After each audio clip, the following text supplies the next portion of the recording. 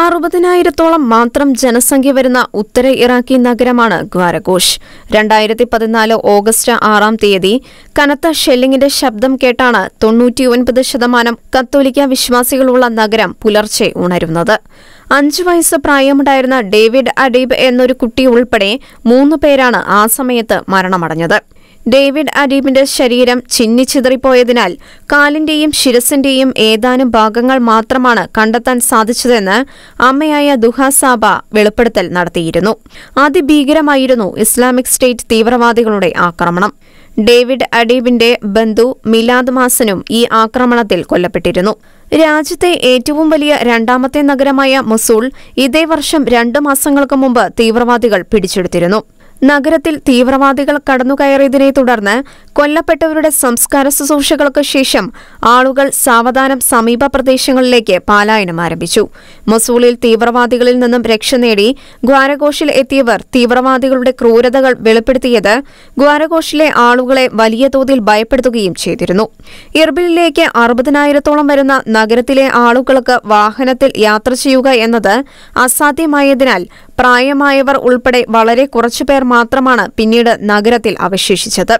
ഇർബിലിലേക്കുള്ള യാത്രയിലുടനീളം തന്റെ കണ്ണിൽ നിന്നും കണ്ണുനീർത്തുള്ളികൾ ഇറ്റുവീഴുന്നുണ്ടായിരുന്നുവെന്ന് ദുഹാസഭ പറഞ്ഞു.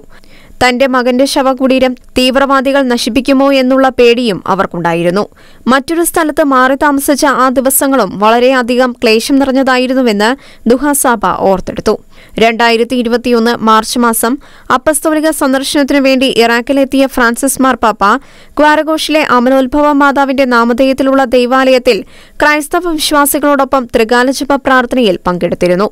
തീവ്രവാദമോ മരണമോ ഒന്നും ഒന്നിന്റെയും അവസാനമല്ലെന്ന് പറഞ്ഞ പാപ്പ പാപത്തെയും മരണത്തെയും കീഴടക്കിയ യേശുവിൽ ശരണപ്പെടാൻ അന്ന് ഇറാഖി ക്രൈസ്തവരെ ഉദ്ബോധിപ്പിച്ചിരുന്നു.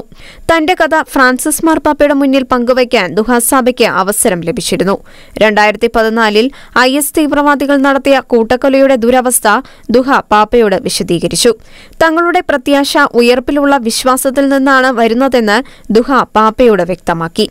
ദുഹാസാബയുടെ ക്ഷമയുടെ വാക്കുകൾ തന്നെ ആഴത്തിൽ സ്പർശിച്ചുവെന്നാണ് ഫ്രാൻസിസ് പാപ്പ മറുപടിയായി പറഞ്ഞത്. ഒറ്റയ്ക്കല്ല ആഗോള സഭ മുഴുവനും പ്രാർത്ഥനയോടും സ്നേഹത്തോടും കൂടെ ഒപ്പമുണ്ടെന്ന് പാപ്പ അവർക്ക് ഉറപ്പു നൽകുകയും ചെയ്തു. ഇസ്ലാമിക് സ്റ്റേറ്റിന്റെ പതനത്തിന് ശേഷം ഇന്ന് തിരിച്ചുവരവിന്റെ പാതയിലാണെങ്കിലും ഗ്വാരഘോഷിലെ ക്രൈസ്തവർ പരിമിതമാണ്. എന്നാൽ സഹനങ്ങളും പ്രതിസന്ധികളും ഒത്തിരിയേറെ ഉണ്ടെങ്കിലും ക്രിസ്തുവിശ്വാസം മുറുകെ പിടിച്ച് മുന്നോട്ടു പോവുകയാണ് ഇവിടുത്തെ ക്രൈസ്തവർ. ഇന്റർനാഷണൽ ഡെസ്ക് ഷിക്കന ന്യൂസ്.